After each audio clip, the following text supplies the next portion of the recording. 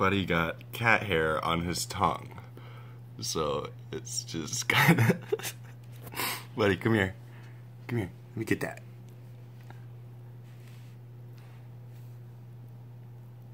Here we go. Here you go, buddy.